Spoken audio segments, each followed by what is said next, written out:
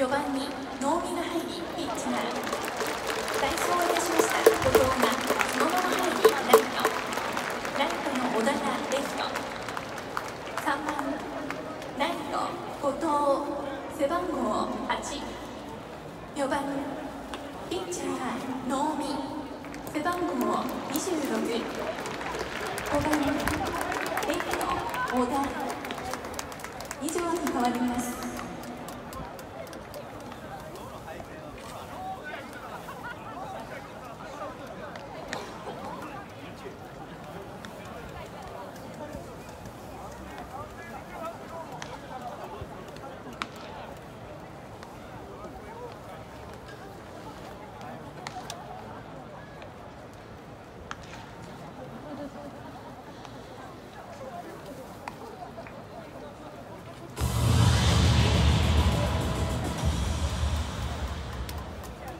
9回の裏